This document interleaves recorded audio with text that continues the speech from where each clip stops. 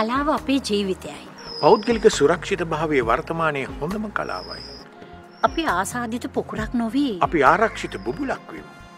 අපි වගේම ඔබේ පවුලත් ආරක්ෂිත බුබුලක් කරගන්න.